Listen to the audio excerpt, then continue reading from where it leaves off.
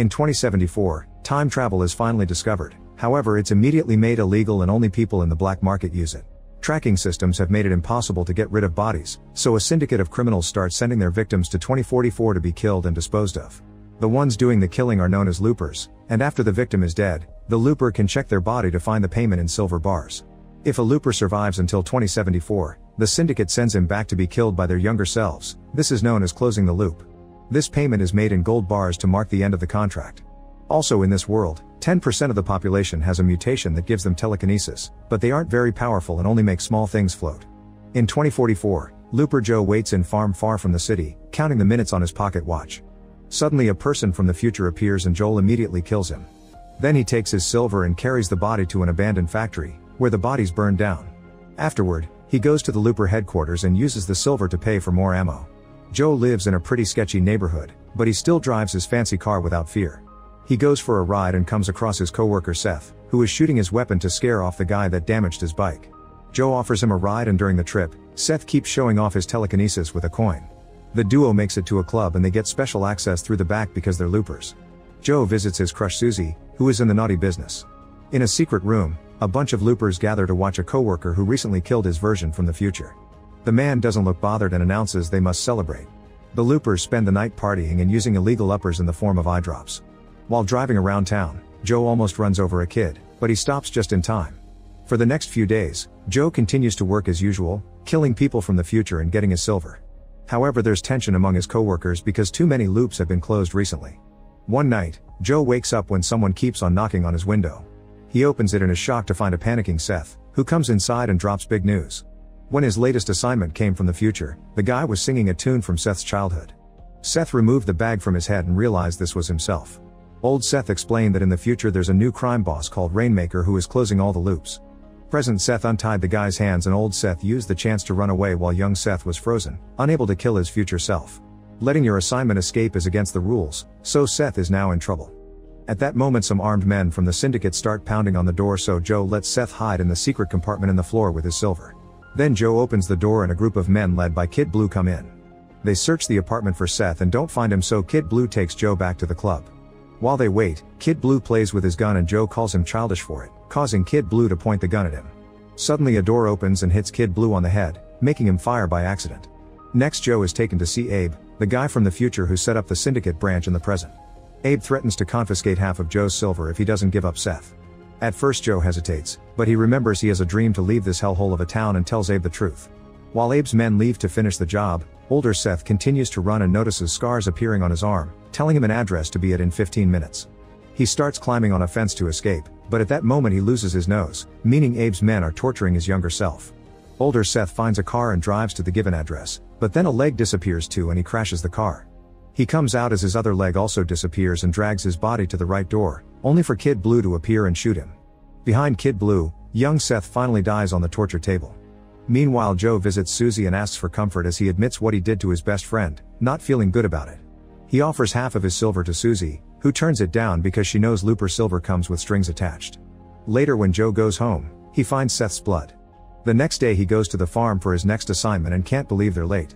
Suddenly a guy appears without a bag or rope. Joe realizes this is his older self and freezes, giving old Joe time to turn around. By the time young Joe shoots, the bullet hits the bars on the man's back, confirming their gold.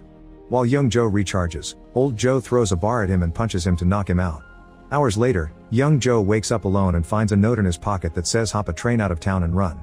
Joe ignores this and returns to the city, destroying his phone on the way to his apartment where he finds the door open and a total mess in every corner. He hides when he hears some voices and notices Kid Blue stealing all his silver. Joe waits for the right moment and jumps on Kid Blue to push him into the compartment, locking the lid. Kid Blue opens fire anyway and more of Abe's men appear, so Joe jumps through the window and tries going down the fire escape. Unfortunately he slips and falls on top of a car, falling unconscious. In another timeline, Joe does kill his future self. With his contract over, he travels the world partying and becoming a hard addict. Eventually he runs out of money and has to start working as a hitman to maintain his lifestyle. This means he starts killing again and even causes explosions in different cities. As years pass, he gets old and becomes future Joe. 23 years after he closed the loop, he meets a beautiful woman at a party who gives him the finger. However, two years later they're happily married. Thanks to her, Joe has managed to leave his addiction and hitman days behind and now he's a clean man. Five years later, The Rainmaker's crimes are all over the news. Joe wakes up one morning and stares a weird number written on his hand. Suddenly a bunch of men enter his house. They're from the syndicate, who have come to capture Joe because it's 2074 so they must close the loop. Joe quickly surrenders and he's taken away while the house is burned down. Later in an abandoned building, Joe waits for the men to surround him and starts a fight, knocking them all down in just a matter of minutes. After making sure to choke the last one, he takes one last look at a picture of his wife in his watch and enters the time machine to send himself back to 2044. Old Joe appears in the other timeline, knocks down his younger self, and takes his gun before escaping. He goes to a store to get food and medicine, using his gun as a threat instead of paying. Then he starts getting visions from young Joe's memories, seeing him destroy the phone. By following these visions, old Joe starts stalking his younger self, who is returning to his apartment. Old Joe knows Abe's men are around, so he waits for the one in a car to look away and shoots him. Then he takes the guy's gun and goes to the apartment building, where young Joe is going down the fire escape. As his younger self falls, old Joe shoots at the guy in the apartment to kill him, then he takes young Joe away. The news soon reach Abe, who gets Kid Blue off the case and makes a plan with his other men to capture both Joes. Moments later, young Joe wakes up alone at the train station, but he still refuses to leave. Meanwhile old Joe breaks into the library and searches the numbers on a database. Those numbers show three possible kids that could be Rainmaker, so he prints a map with their locations. On his way out, some scars appear on his arm asking him to meet at a diner. The next day old Joe goes to the diner and finds his younger self with a bandage on his arm, confirming he sent the message. They ask for the same dish and old Joe shares the story of how his wife saved him from addiction, sticking to his side during the hardest moments. The day the syndicate came to his house, the men saw her by the window and killed her. Old Joe tried reaching for her, but the men quickly tased him down. Next old Joe starts talking about the Rainmaker, who is behind mass executions and vagrant purges in the future. In just six months, he took control of the five major syndicates, yet rumors say he works alone. Nobody knows his face or his real identity. The Rainmaker is closing all the loops and before dying, a looper friend of Joe's called him to give him the strange numbers as a clue. Old Joe shows his younger self the map, explaining he's come to find the Rainmaker and kill him while he's still a child, hoping he can alter history and save his wife. Young Joe refuses to be part of this, so he promises the old man to marry someone else to keep the wife safe. Old Joe refuses to give her up and when young Joe reaches for his gun, old Joe kicks him in the groin and hits him in the neck to bring him down. At that moment Abe's men appear outside, so old Joe uses his other self as a shield and opens fire as the enemy comes in. A gunfight ensues and old Joe tells his young self to run away as he drops him. As he falls, young Joe takes the chance to tear off a piece of the map. Then young Joe opens fire on his older self too, forcing him to jump through a window to escape. Soon Kid Blue arrives with more men and start chasing old Joe through the fields, but he's too fast and quickly loses them. Then the group turns on young Joe, who rushes to steal a hoverbike and escape through the fields as well. He jumps off the bike after a few minutes so Abe's men follow an empty vehicle, then he takes out the piece of the map and discovers a marked spot. Moments later, Joe makes it to the location on the map and finds Sarah living alone with her son Sid in a farm. When Sarah sees him sneaking around, she comes out with a weapon and threatens to kill anyone who approaches her house, so Joe decides to stay hidden in the field for now. He watches the house for hours and soon he starts feeling sick because of withdrawal syndrome. Meanwhile Abe scolds Kid Blue for his failure, takes his gun, and breaks his hand with a hammer. In the evening, Sarah hears a noise outside and sees a mysterious man coming, so she opens fire. As she walks back she falls, so Joe comes out of hiding to help. The mysterious man turns out to be just a hobo, who runs away when he sees Joe's weapon. Then Joe throws up and finally collapses, but Sarah slaps him to keep him from passing out. Sid comes out too and shares his water with him. Back in the city, the police are looking for both Joes, so old Joe has to hide in the sewers. He starts seeing visions of Sarah and her slap, so he concentrates on his wife's picture not to forget her. The next morning, Joe wakes up handcuffed in the barn. Sarah comes over and gives him the keys while keeping him at gunpoint, asking him to leave. Joe refuses and shows her the map with the numbers, which leaves Sarah in shock. She immediately shoots him on the shoulder and asks for an explanation, causing a scar to appear on old Joe as well. Sarah already knows what a looper is, so Joe only has to tell her about his old self wanting to kill her son. In return, Sarah explains that the numbers are Sid's birthday and the med code of the hospital where he was born. She mentions two other kids were born in that hospital that day, meaning old Joe will be visiting them one by one. In the meantime, old Joe finds the first kid and after some hesitation, he shoots him. Then he rushes out of the house and takes a moment to have a breakdown. Nothing in his memories is changing, so he killed a child for nothing. In the evening, Abe's men find Joe and start chasing him through the city, so he runs through an alley to make the truck crash. In a dark building, Kid Blue uses a radio to spy on the police's transmissions and gets Joe's location too. Back to Sarah, she agrees to let young Joe stay for extra protection and she tends his wounds. After she goes to sleep, Sid shows Joe that he's connected two little frog toys so that Joe and Sarah can alert each other in case of emergency. To Joe's surprise, Sid explains Sarah isn't his real mother and that he remembers his birth mom, who died when he was a baby. Sid feels frustrated because he couldn't stop it. The next morning, Joe gives one of the frogs to Sarah and shares what Sid said. Sarah explains she's Sid's mother but she used to have a bad life in the city, so she left him in this farm with her sister to give him a better life. Sid grew up thinking his aunt was his birth mom. Joe thinks she should talk to Sid about this but Sarah tells him off. In the afternoon, Sarah is teaching Sid math but he soon snaps and says she isn't his mom, so she needs to stop lying or she'll get killed too. He then pushes Sarah and as his anger gets worse, it's revealed he has a form of extra powerful telekinesis. The house shakes as Sid screams and Sarah runs to hide in a safe until he calms down. Later Sarah checks on him and Sid apologizes.